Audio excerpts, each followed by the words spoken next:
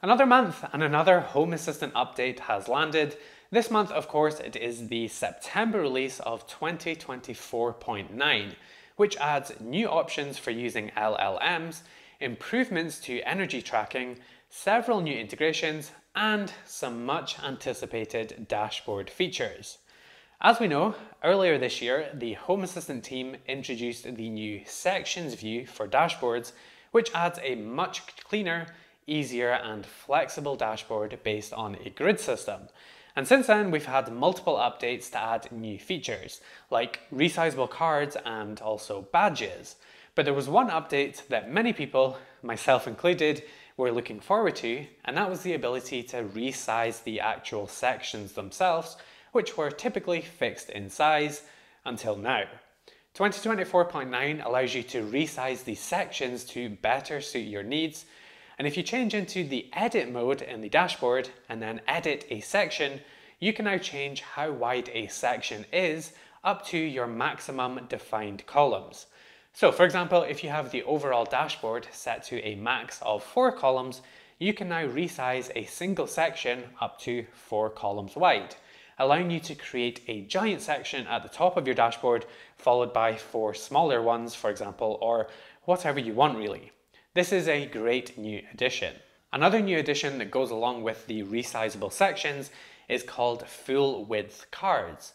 So now if you edit a card and head over to the layout tab for that card, there is now a toggle for full width, which will of course obviously make the card full width. This option differs from just setting the size of the card manually to fill the section because it will auto expand and contract even as you resize the section, whereas the manual layout options will not do that. Again, a really nice little addition here. Next, the energy dashboard gets a really neat improvement where it can now calculate and display your untracked energy consumption. So let's say you have a smart meter integration that's tracking the total amount of energy consumption that your house uses, and then you have some CT clamps measuring a couple of your circuits, but not all of them. Well, Home Assistant can now show you the untracked energy usage, which is going to be your total consumption minus those tracked consumption devices, which will then obviously give you an untracked value. You can of course toggle this on or off in the graph along with other devices if you don't want to see this new feature, but I can see this being really useful for tracking down high energy devices. Next up, the use of LLMs or AI in Home Assistant has been getting some updates recently. Starting out with the Google and OpenAI's offering being integrated into Home Assistant, which allows you to control devices inside of HA with these LLMs. And then of course we got an update that allowed Ollama, which is a local LLM offering that again you can use to control devices in your house with.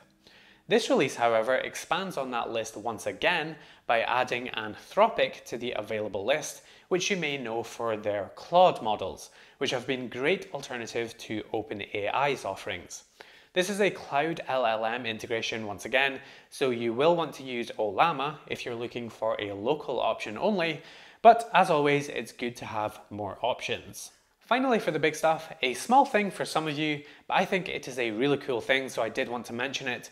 But this release marks a milestone in open source compliance for Home Assistant, meaning that the team has made sure that every library that is used by its 2,800 plus integrations and ensured that every library has an open source initiative approved license.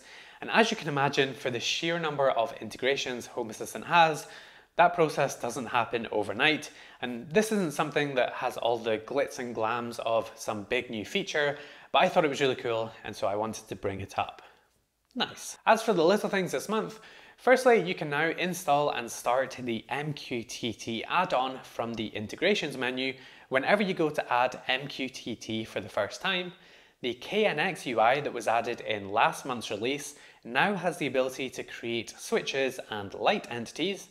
The Air Gradient integration now supports updates and finally, the Nest integration now supports event entities for things like doorbell presses. In terms of new integrations, we see five new integrations added in this release, including the aforementioned Anthropic integration, and also an integration called Nice Go, which lets you integrate with garage door and also gate openers, which is pretty cool. And as for integrations that you can now set up in the UI instead of YAML, there is just one this month, and it's that you can now add a number template helper directly from the front end. As for breaking changes or backwards incompatibility changes, it is a small to medium sized list this month. A lot of them are just the removal of previously deprecated stuff, so just cleaning up and hopefully nothing that's going to be an issue for you. But do make sure to have a read for yourself, as always, to make sure nothing applies to you. And that's about it for this month. A nice small update this month while the devs have some well earned holiday time, but still some great stuff nonetheless. And so happy to see continued improvements to the new sections view on the dashboard side. And definitely a feature I was waiting for, and I think will open up some great dashboard opportunities, which I'm really looking forward to seeing and testing for myself. Anyways, that's about it for me. Drop this video a like and a comment if you found it useful and you feel like helping the almighty algorithms. Thank you so much for watching this video and I will see you in the next one.